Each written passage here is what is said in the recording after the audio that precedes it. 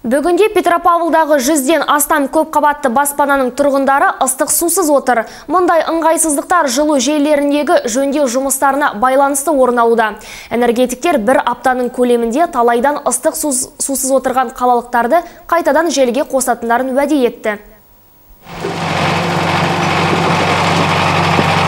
Бүгінде мұндай жөндеу жұмыстары қаладағы 9 бірдей учаскеде жүріп жатыр. Осының салдарынан облыс орталығындағы 102 көп қабатты баспананың тұрғындары қазір ыстық сусыз отыр. Алайда энергетиктер тұрғындарды уақытша ыңғайсыздықтарға түсіністікпен қарауға шақырады. Жаздың бір күні қыстың 40 күніне азық демекші бүгінде жөндеу жұмыстары сапалы жүргізілсе, алдағы жылыту маусымында апаттық жағдайлардың саны едәуір кемейді дейді олар. Это связано в первую очередь с тем, что в этом году қалалықтардың ұзақ уақыт бойы ыстық судан қағылуының басты себебі бір жылу желілерін петропавл екі жылу электр орталығының насостары арқылы гидравликалық сынақтан өткізіп жатырмыз. Бұл арқылы құбырлардың беріктігі тексеріліп олардың бойындағы ақаулар анықталады. Алайда бұл шаруаға біраз уақыт қажет. Осының салдарынан парк партизан көшелер аудандарындағы баспана иелері екі айға жуық ыстық сусыз күн көруді энергетиктер оларды апта аяғына дейін қайта желіге қосуға уәде берді. Барлығы жылыту маусымы басталғанша облыс орталығында 10 шақырым 700 метрдей жылу құбырлары жөнделіп ауыстырылмақшы. Мы несколько отстаем по ремонту тепловых сетей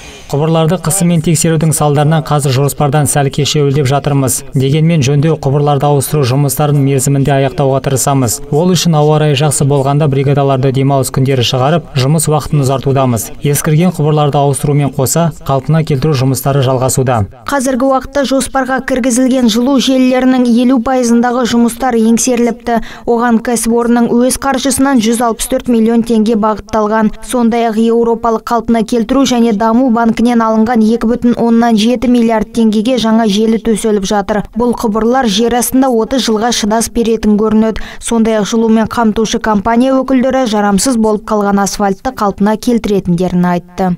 Гүлмира шоқтыбаева тимур рахматуллин муниципалдық телеарна.